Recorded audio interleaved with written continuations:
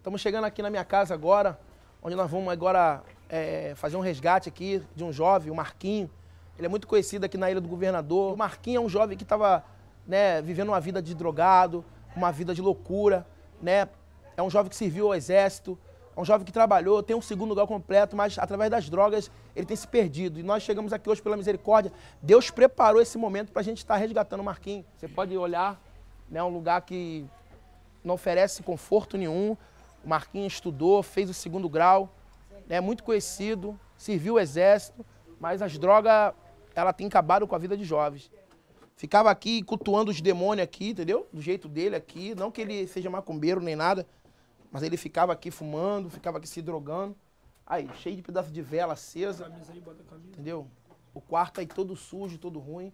Tá aqui o pessoal da, da Igreja Assembleia de Deus, do pastor Marcos Pereira. Entendeu? Nós estamos aí fazendo esse resgate aí, buscando esse jovem aí. Bota a camisa. Bota a camisa. Ei! Todo mal agora. Todo mundo que aguenta. Glória! Queimando. agora.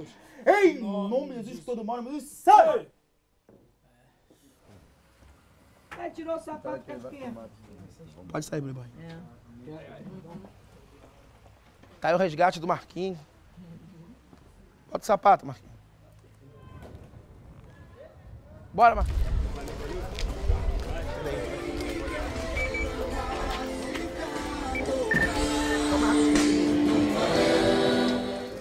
Bora aqui nessa igreja aqui, olha aí, parceiro. Tá vendo? Vamos lá, pra ser cuidado aí.